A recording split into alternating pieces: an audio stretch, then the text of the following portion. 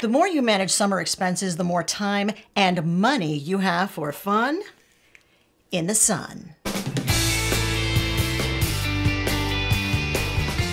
Summer is a time for fun, relaxation, and making memories, but the costs can add up quickly. In this video, we will prep you for summer expenses, some of which you may be overlooking. And then we'll give you some solutions that will help you to save hundreds of dollars this summer.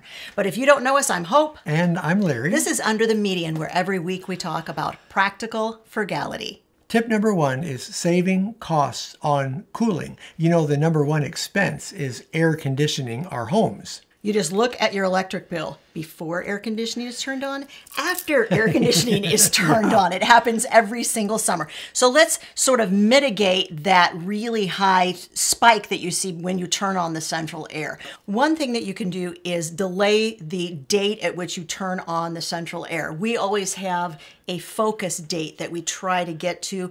My focus date is July 1st. Larry's focus date is when it gets hot.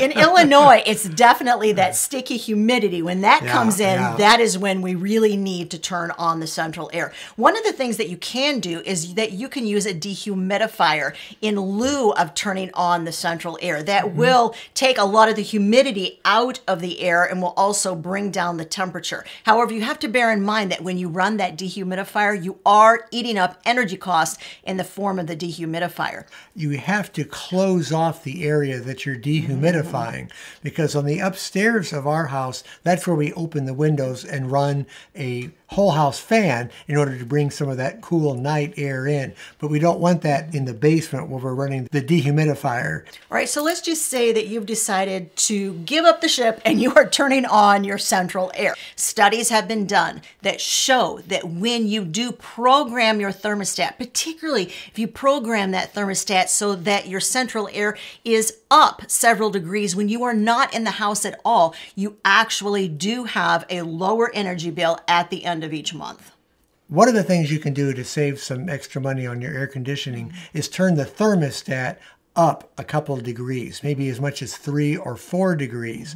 That way, what you do in order to stay cool is use some fans. Put some fans in the room that you're in, in your bedrooms, and that way you're circulating the air that's in there. Circulated air will keep you cooler, and that allows you to turn that air conditioning up without feeling oppressed from the heat. Statistics, let's talk about them just for a second. Scientists tell us that when you use these techniques that we're talking about, you can raise your central air by up to four degrees with no noticeable change in the comfort of sitting in a room. And the other thing you have to bear in mind is that, once again, statistically, for every degree that you raise that central air, you will save between 1 and 3% on next month's utility bill. We've tracked it, and for us, it's somewhere around 2% for each degree that we raise the thermostat.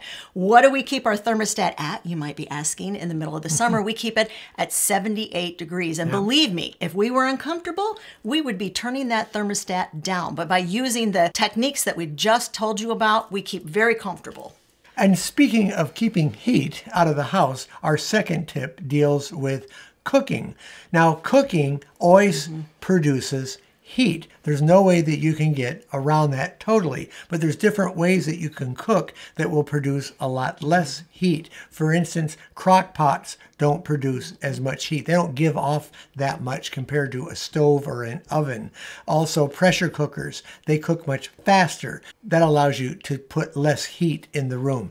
If you can grill outside, then that gets the cooking outside and you're not heating your house up at all. And anytime you can set a, an appliance, a cooking appliance outside, like on a porch, in order to mm. cook. That's another great way to keep your house from being impacted while you're cooking. And of course, another way to avoid putting heat into the house is to simply serve meals during the summer which don't involve cooking. The other thing to bear in mind is if you can heat the house up once and cook a lot of any given item, then you can serve it as leftovers throughout the week and you're once again only heating the house up once and not three or four different times.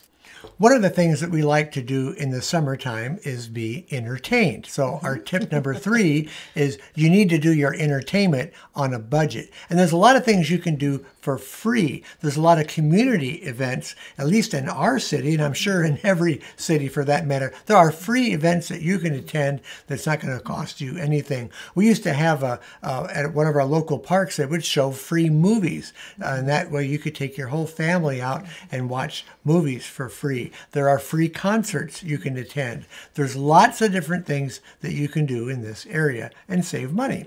Google the following phrase free events in my area this weekend. Yeah. I just did it and I came up with this idea. It's called Park Palooza. Now, ah. I chose this to show to you because not all parts of the Park Palooza are mm-hmm. free. Mm-hmm. So you need to be aware of that. There's a portion of the Park Palooza that everyone can go to and it's absolutely free, but there are other portions of that same event or festival that may very well cost you. Yep. So make sure that you're aware of all of the uh, costs of the event before you get there and make sure that you you Google whether you're going to have to pay for parking near the event yeah. or not. The really fun thing about some of these events is that oftentimes they will have local merchants there who have set up booths and they will have a way that you can enter a contest. You might win some cool swag, some gifts, some prizes. And speaking of a chance to win a lot of cool things, mm. our sponsor for this video, Oupes, is having a Father's Day celebration special where they're offering prizes and all kinds of cool free things to win and save money on their products. During the Father's Day celebration, when you spend $1,500 or more, Oupes will deduct 10% off of your bill. They'll do it automatically. You don't have to have a coupon code. But listen up because we do have a coupon code which will save you an additional 5%. They have some fantastic sale prices going on during this sale, but it would be a lot easier if you just head to their website and take a look to see what they have to offer that might meet your specific needs. However, having said that, here are a couple of our very favorites. The Mega 5, which is the largest unit that Oupes sells. Right now, you can get up to $2,400 off when you purchase the Mega 5, plus an extra battery, plus you get six 240 watt solar panels. You want to check that out? I think it's around 29% off the Oupes 1800, which happens to be our personal favorite. It's nice and small, it's portable, you can carry it around with you, it charges quickly, and it runs a lot of products. Remember, this is an 1800 watt power station. It is also on sale. Now let's get to the really good part the contests and the prizes you can go to the website and share a particular moment that makes your dad a super dad, and you put that under Super Daddy. This gives you a chance to win $1,000 and their small portable power station. It's called the Exodus 600. I've done a review on it. I love that power station. It's really good. But here's something else that's super duper fun, and that is if you go to their Facebook group, then you can share your plans for Father's Day. Now, the contest over there, they are giving away not one, two, three, four, five, but six of the Exodus 600 watt portable power stations, along with a solar panel to run that power station. So, ready, set, go, shop, and enter. And remember, all the important links are going to be all the way at the top of the description of this video. Now, the next thing that you want to be aware of in terms of summer expenses are special events and mm-hmm. celebrations that occur during the summer. These would be things like anniversaries, weddings, graduations. In mm-hmm. fact, we just went to a graduation today. And these will cost you a little bit because you want to buy something for the person that is being celebrated. The other thing you want to take into consideration is if you are invited to a wedding and it's not near you, you're going to have some travel costs associated with that. Along with special events and celebrations, you can have parties and events in your backyard. Let's say, mm-hmm. how about having a barbecue and having your friends over? That'll be a lot less expensive than reserving a spot at a restaurant. But it also does mean that you could come up against some extra expenses to perhaps buy tableware that you can mm-hmm. maybe maybe discard rather than washing up on the tableware yeah. after your guests are gone, and perhaps some special ingredients you might want to buy because you're having friends over. And so those are extra expenses when it comes right. to summertime. They just won't be as high mm-hmm. as if you go to some organized place in order to have that event. But let's talk about going to some other place, uh, some other place than home, and that would be known as a summer vacation. Yeah. We've got some very specific tips for you on how to save on summer vacation versions. Hope and I have done this a lot in our lifetime, and that's having a staycation. Usually that gives me some time to do some work around the house. Let's say I take a week off, I might spend two days doing some work, and then we might spend two days on a staycation each day at a time going to separate places. Do some research on the web and find places within a day's drive of your home that you can take your family to and enjoy. And you take your food along along with you, stop at a Yeah. local park to eat your food, and you may go ahead and eat dinner out on your way back. One of the things that we do is we plan it a little bit so that we know pretty much where we're stopping on the way back home. We pull up their menu online and look Mm-hmm. Yeah. at it before we get to that restaurant so we know exactly what we're going to purchase and we know it's within the budget that we have set for that staycation. The other thing that we do is we plan one or two different things we really want to get done around the house, but don't Right. plan it so heavy that all you wind up doing is sitting around your house because a staycation may be staying near home, but it doesn't mean staying at home the whole Right, time right. that you are off of work. You want to make sure that you have some fun for some rest and relaxation. Now, let's talk about travel where you're going to go more than one day away from home. Here's what you need to be aware of off season rates. Yeah.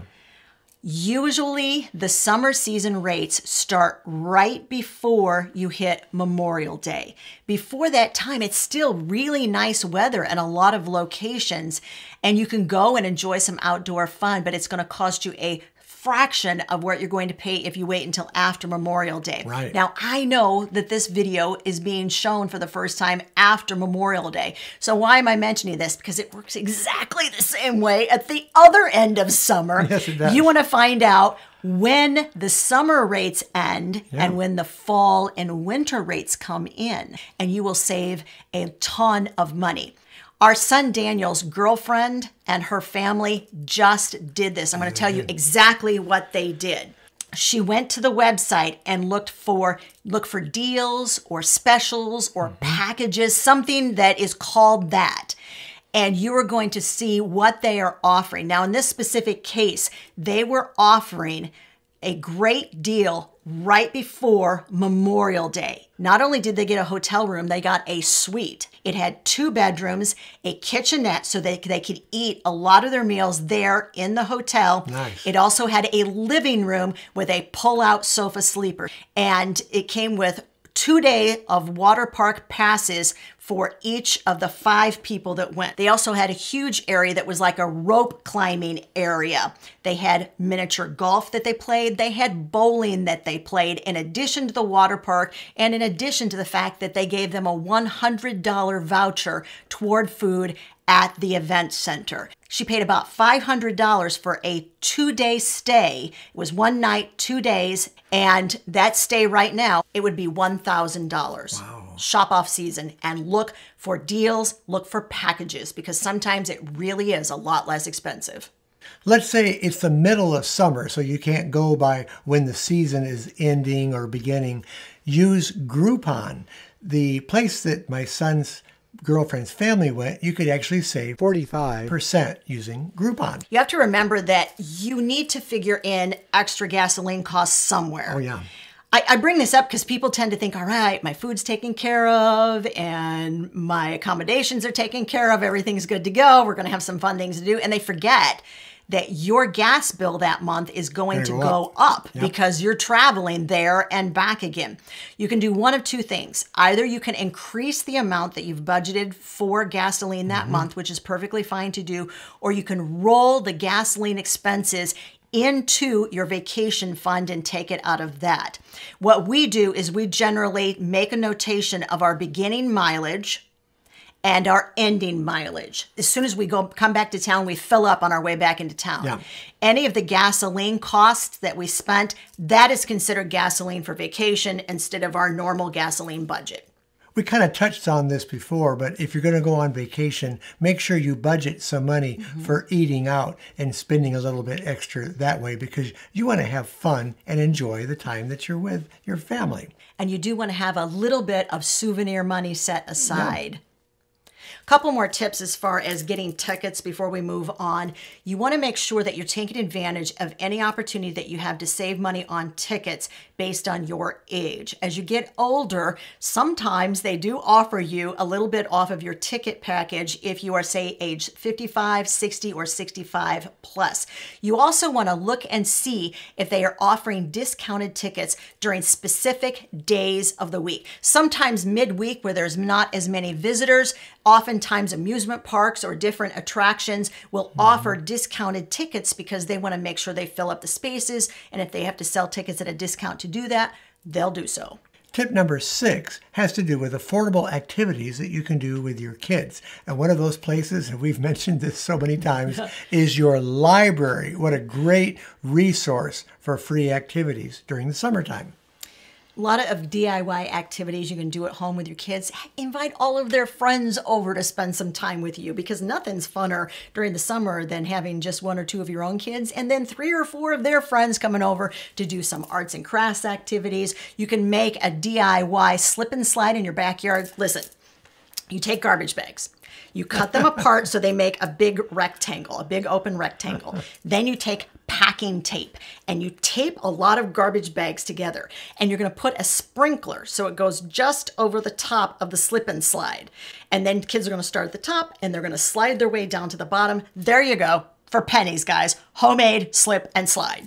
When it comes to special gear that you might need for your outdoor adventures, mm-hmm. remember that you can borrow a lot of gear. Maybe you have friends that have mm-hmm. some gear. Maybe they have a tent and they have some things that they can loan you. Uh, maybe a, a cook stove, a camping cook stove, whatever it might be. See if you can borrow it. Mm-hmm. You can also rent some of these things too and save the money in terms of making a full price purchase. Of course, you can always buy used. That's another way yeah. to get a good deal on items that you're going to need for your outdoor adventures. When it comes to the expense of travel, you want to take into consideration vehicle maintenance. Make sure that you have your transportation up to speed before you take it mm-hmm. out of town. And if you're going like for bike rides a lot during the summertime, you want to make sure your mm-hmm. bike is also tuned up and ready to go. Check the tires, make sure that they're going to last through the summer. You may have to budget some money to buy some parts for it or to take it to a bike shop and have it worked on. Or if you're handy, do your own work on your bike. But it's very important to keep any of your transportation up to good working order. Here's something else we do we map out our trip before we go. Yeah. Now, we try to yeah. avoid toll roads. I don't know oh, about oh, yeah. you guys. Tell me in the comment section, do you avoid toll roads? Because we do. We do. But if there's no way we can avoid a toll road, we figure out about how much it's going to cost us in tolls. Mm-hmm. And we have this little, like, basket we set between us on the console that is toll road money. We make sure that we have a lot of change that we can use because otherwise you have to get like in the slow lane mm-hmm. and you have to pay them and you have to get change. But if you have change available and ready, then, and it'll tell you ahead of time, it'll say, you know, $2.50 toll coming your way in two minutes. So, like Larry's driving, and I'm going through all the change, trying to add it up to $2.50. Because if I can do that before we get to the toll road, then that means that we can pay and go through the short line. Just another tip for you. If you have pets, that can also yeah. bring some extra costs. Let's say you have to board your pet because you can't take it along on your vacation, then that's going to cost more. Uh, you also want to make sure that they have flea and tick yeah. medicine on them so they don't get something from being outside. Now, we alluded a little bit earlier to like one of the ways that we have found free and frugal things in our area, and that is just simply Google it. Fun, free yeah. things to do in my area this weekend. But that just is sort of the tip of the iceberg. There are nine other ways, tried and true methods, guys, yeah. that we have used in order to find summer fun on a budget. We did a whole video on it. The video is right over there for you. Go take a look.